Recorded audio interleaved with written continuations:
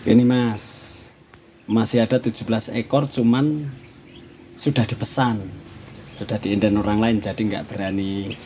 kita kirim atau kasihkan orang sebelum yang apa, yang order itu batalkan kita nggak berani lempar ke orang.